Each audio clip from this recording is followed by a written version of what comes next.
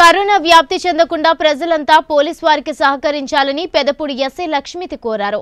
తూర్పుగోదావరి జిల్లా అనపతి నియోజకవర్గం పెదపూడి మండలంలో ఉన్న పద్దెనిమిది గ్రామ ప్రజలంతా తమకు సహకరించాలన్నారు.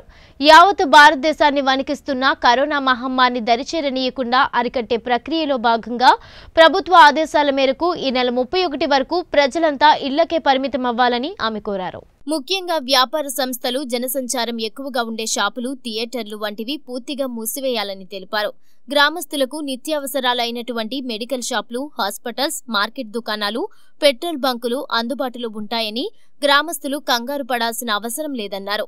తమ తమ అవసరాన్ని బట్టి వచ్చి వస్తువులు తీసుకుని వెళ్ళాలని అవసరం ఉంటే తప్ప ఇళ్ళ బయటకు రావద్దని ఇంటి వద్దే ఉండి తమ ఆరోగ్యాన్ని పరిరక్షించుకోవాలన్నారు. బయటకు వెళ్ళిన మాస్క్ వ్యాధి ఎవరైనా కానీ పేషెంట్ సీట్ కానీ సీట్ కానీ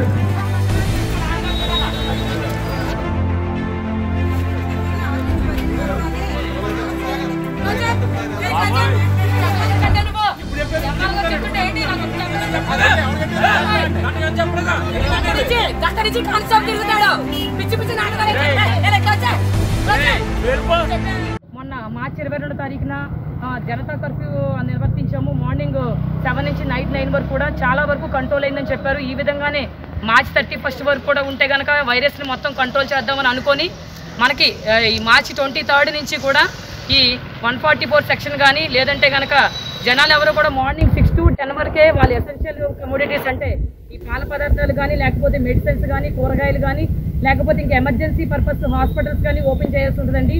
అదర్వైజ్ మొత్తం అన్ని కూడా కంప్లీట్గా క్లోజ్ చేసేసేయాలి. ప్రజలందరూ కూడా మాకు సహకరిస్తే మేము కూడా మీకు సహకరిస్తాము.